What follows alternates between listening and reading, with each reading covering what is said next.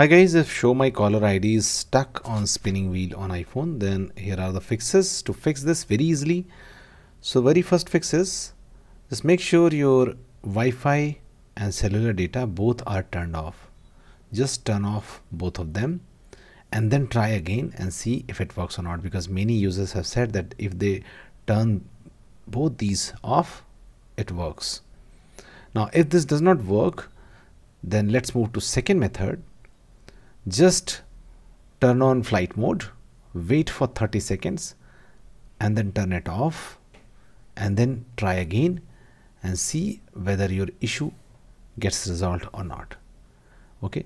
Now if this is also not working then what you can do you can just go to settings and scroll down and find phone option tap on it and scroll down and find Wi-Fi calling and turn this off okay and see whether this fixes your issue.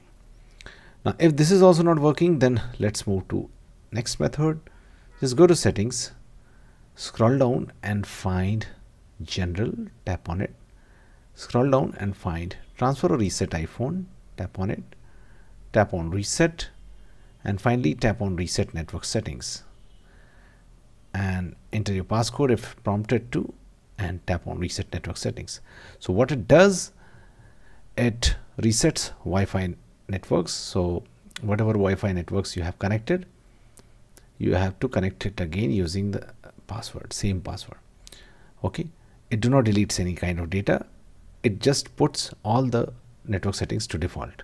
And then try again and your problem will be fixed. Thanks for watching. Please do like